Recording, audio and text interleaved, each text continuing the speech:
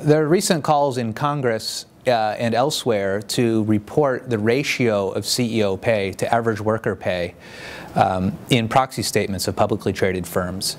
Uh, it's very interesting because this is a complicated issue. It's actually complicated to report, and it's not exactly clear uh, how organizations would do this and what they would use for the, the numerator or denominator in these kinds of calculations. Thinking about the ratio of CEO pay to average worker pay or regular worker pay in the United States over the last generation is quite interesting.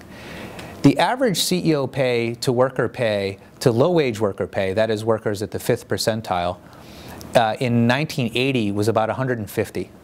So CEOs earned about 150 times the wages of low-wage workers in the United States in 1980, and that increased dramatically to 400 this past year. So the average CEO made 400 times entry-level workers or pay or worker pay at the fifth percentile of the wage distribution. However, if we make the comparison between CEOs and high-wage workers, say workers who are earning at the 95th percentile, that is where only 5% of workers in the United States are earning more, the ratio in 1980 was about 30.